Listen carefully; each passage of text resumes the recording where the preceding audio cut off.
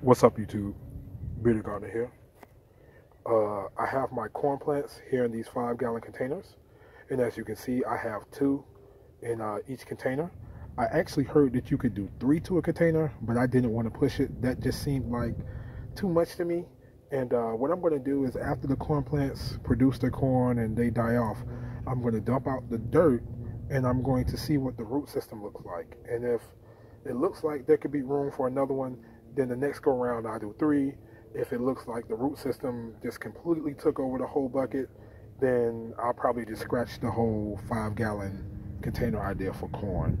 So I guess you could say this is kind of an experiment, I guess. Um, but I believe two will do just fine in the containers. But we'll see. So stick around.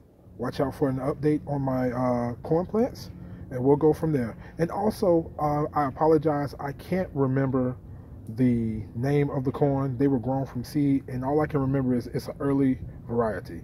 That's the only thing I can remember.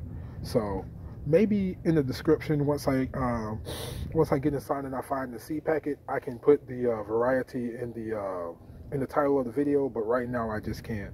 It's not coming to me. So, anyways, I'm going to go ahead and cut this video short. See you guys next time.